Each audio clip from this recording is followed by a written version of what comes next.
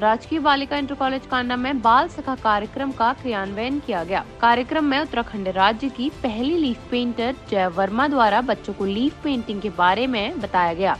उन्होंने कहा कि बच्चे लीफ पेंटिंग में भी अपना करियर बना सकते हैं। साथ ही उन्होंने बच्चों से कहा कि किसी भी परिस्थिति में वो हार न माने और अपनी हॉबीज को ही अपना करियर बनाने की सोचे। हमारे विद्यालय जी कांडा में श्रीमती जया वर्मा जी आई थी, जिन्होंने लीफ पेंटिंग में बहुत अच्छा उत्तराखंड में नाम कमाया है। इन्होंने हमारे बच्चों को कैसे ये पेंटिंग बनाई जाती है, इस बारे में मोटिवेट किया और बच्चों को बताया कि वो और चीज़ें भी कैसे अपने जीवन में कर सकते हैं और उन्होंने सिखाया कि कैसे उन्होंने अपने जीवन में इंटरनेट के माध्यम से इस कला को सीखा और एक प्रेरणा ली कि जीवन में कुछ करना है। तो धीरे धीरे वो उन्होंने इस कला को सीखा और अपने जीवन में इसको अपनाया। वो हमारे विद्यालय से ही पढ़ी हुई हैं।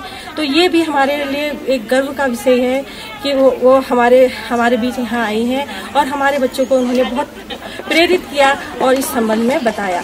तो इसके लिए मैं उनका बहुत बहुत धन्यवाद देना चाहती हूँ। जयवर में है, मैं आज अपने स्कूल आई हूँ, जहाँ से मैंने सिक्स से ट्वेल्थ तक पास आउट किए हैं। यहाँ पर मैंने सभी बच्चों के साथ मिली। मुझे बहुत अच्छा लगा। मैम का भी पूरा सपोर्ट रहा। बच्चों का भी पूरा सपोर्ट रहा। मुझे बहुत ही अच्छा लगा।